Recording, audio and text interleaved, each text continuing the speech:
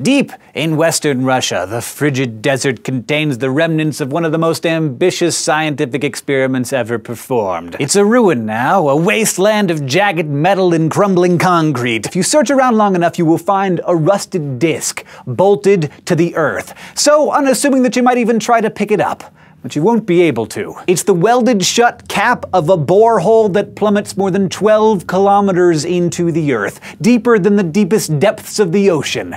It's the deepest hole on Earth.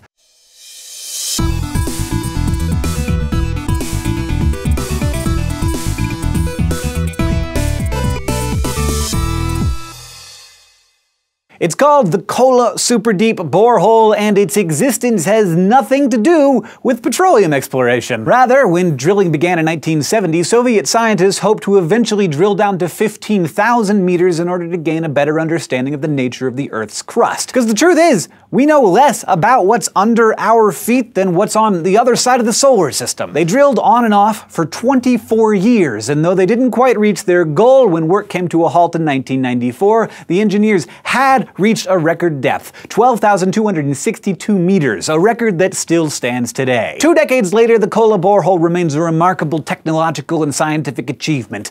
To drill it, engineers devised a new method by which only the drill bit at the end of the shaft was rotated. The lubricant, in this case pressurized drilling mud, was pumped down through a custom drill bit, allowing it to spin. Instruments had to be invented to take measurements at the bottom of the hole. What did we learn by drilling a third of the way through the Baltic continental crust?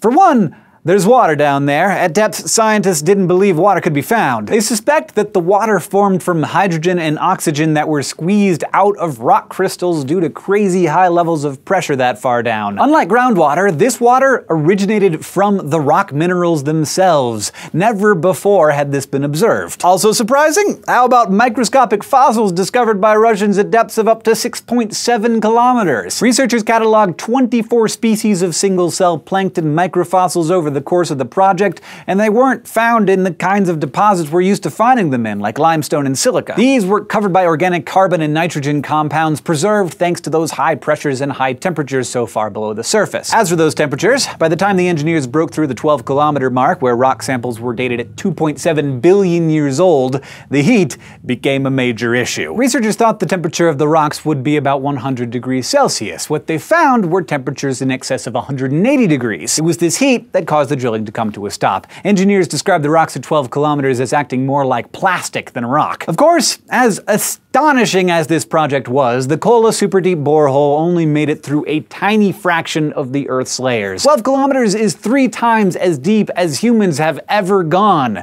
but the Earth's mantle doesn't even begin until about 35 kilometers below the surface. The mantle then continues for another 2,800 kilometers, the center of the inner core more than 63 300 kilometers below the surface. Put another way, this borehole, which took 24 years to drill, made it roughly 0.002% of the way to the middle of the Earth. It's a big planet, you guys. Thank you for watching this SciShow dose, especially to our Subbable subscribers. To learn how you can support us, just go to subbable.com to learn more. And be sure to check out our new channel, SciShow Space, for the latest in space news and weekly forays into the fascinating depths of the cosmos. If you have any questions, you can find us on Facebook and Twitter, and as always, in the comments below. And if you want to keep getting smarter with us, you can go to youtube.com slash scishow and subscribe.